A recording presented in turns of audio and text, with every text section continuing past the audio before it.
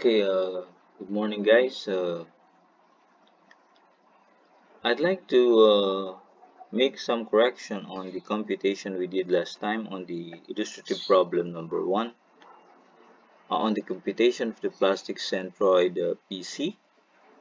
So on the last part here, uh, there's a cut cut and paste error on the on the value of your area of the steel okay? So on the last part when we solve we're trying to solve your yp here on the table computation okay? So before I, show you the the error I'd like to remind you that uh, we have to be careful on the uh, numbering okay? So if we place a number let's say mark 1 2 3 4 meaning to say we have four uh, components okay the number of components which is primarily uh, made of concrete components and steel components here. So for here since we divided the, the concrete section into two the first component we are actually uh, dealing with is this one for concrete okay? And this is the second component for uh, your concrete. So the third component is the steel at uh, level 1. So this is marked as the third component. And the fourth component is the steel at uh, uh, level 2. Okay. So this is on the basis of the XP computation when we when we compute uh, uh our XPs. But for uh, Y piece, our component for steel, uh, 3 is your 3 and this is your fourth component. So these are used for Y piece. Okay, so you don't have to. Uh, uh, make sure uh, uh, uh, they are actually mapped correspondingly because you will have problems with the answer if uh, you miss no, the uh, mapping. Okay so that's why if the we're taking the moment arm and the area so the area now becomes AG1 AG2 and this is now your uh, AS1 okay component and uh, AS2 for uh, XP uh, determination okay so this is now 1 and 2 so there's a correction here. Is 1 and 2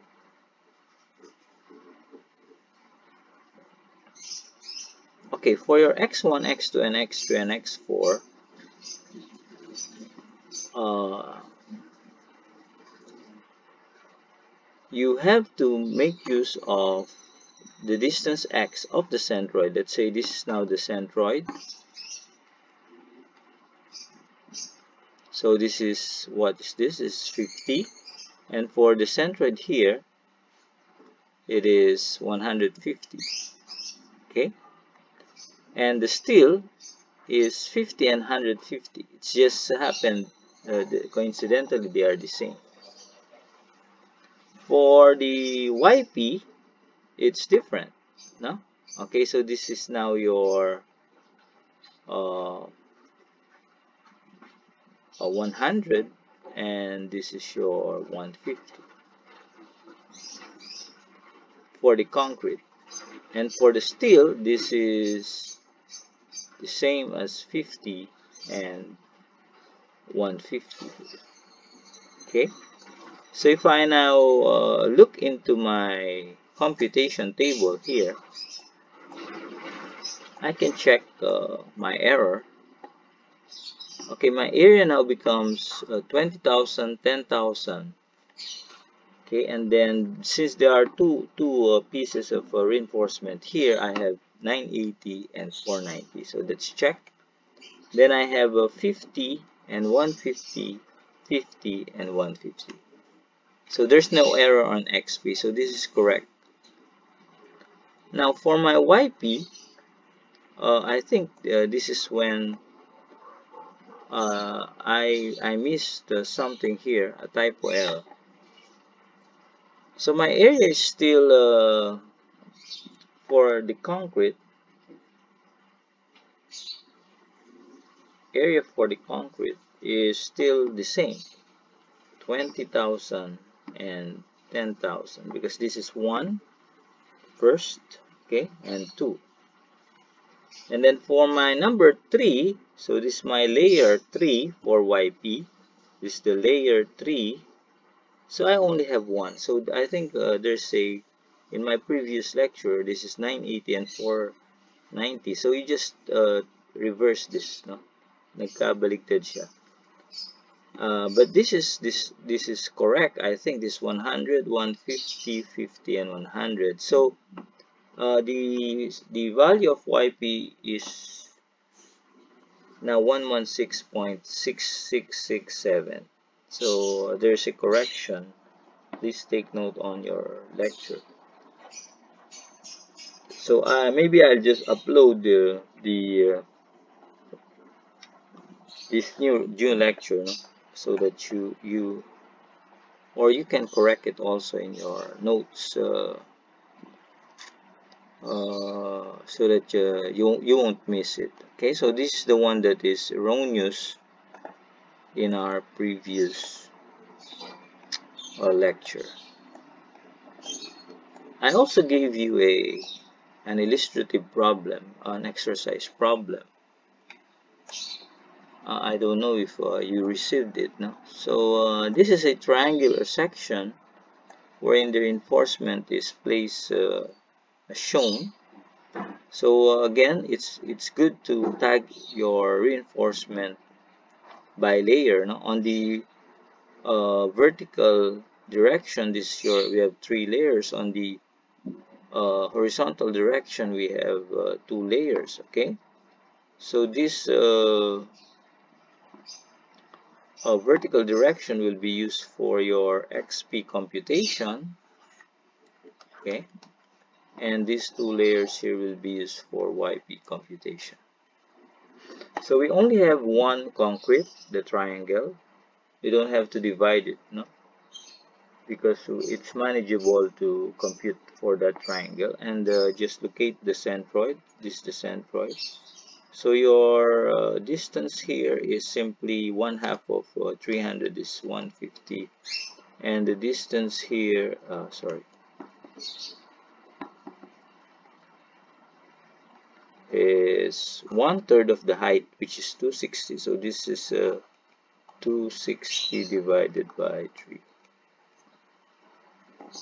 okay so you can now uh, make use of your table. Okay area of the triangle is one half 300 times 260 okay so this is just one half. Base is 300 times height is 260 so it's 39,000 the area of steel at uh, 2 so this is now uh, marked as 2 but it's at the layer 1 no? so this is the mark 2 mark 3 mark 4 okay?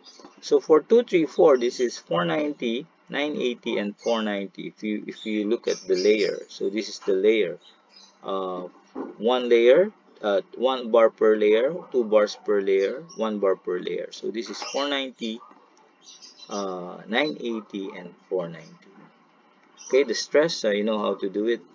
So uh, let's dig into the moment arm. The moment arm now for this uh, first layer is uh, 87 okay by the way, the moment arm of the concrete triangle is 150. The moment arm of the first steel layer is 87. The moment arm of the second steel layer is 87 plus 63 which is 150.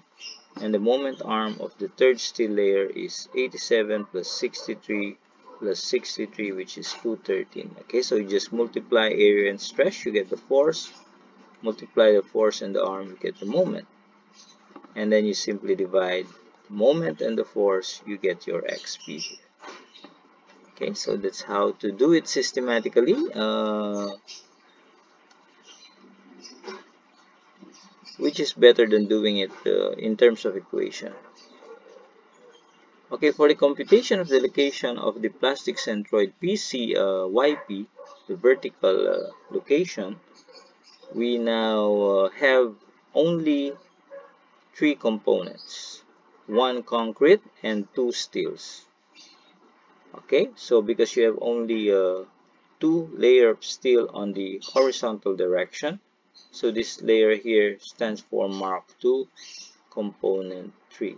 Okay component 2 and 3 which is this one so again the area is the same for your concrete 39,000 the area of steel for uh, steel layer 1 is 3 times 490 which is 1470 and the layer of steel layer of steel at layer 2 is a 1 uh, bar reinforcement only so this is 490 so for the moment arm, this the the the, the distance from the plus uh, the geometric centroid. This is just the geometric centroid is 260 divided by 3. Okay, which is 86.667. The distance of this layer of uh, three bars in this layer is 50 and the distance of this single bar in this layer is 110 plus 50 is equal to 160 you just multiply force again uh, sorry area and stress to get the force and force times arm to get the moment then you will have your summation of the moment and the force you just divide them you get 82.70 okay so let let's compare no? If the this is the geometric geometric centroid which is at 86.67 and uh, uh, 150 so we will take note that the uh,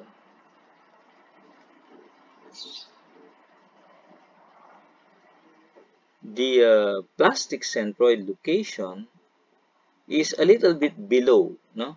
Uh, let, let's draw it. If the centroid uh, is is uh, at the 86.67 and 150 okay? This is one half of that 150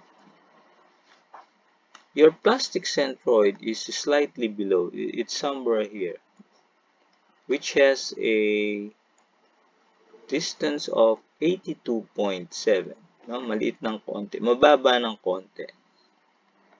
But still your your uh, uh, xp value is the same as your uh, center of gravity. 150 pa rin yan. No? Hindi mababago yan okay so that's uh, how how uh, near your plastic centroid and your geometric centroid are are really no but uh, again for accuracy of computation we need to compute for your plastic centroid, especially for very irregular uh, sections. Okay, so I hope uh, you have tried uh, computing this and compare it with uh, my result, the result I, I obtained from this uh, solution. So if you have uh, other concerns and questions, you may ask later. For now I'll stop the lecture here. Uh, thank you for listening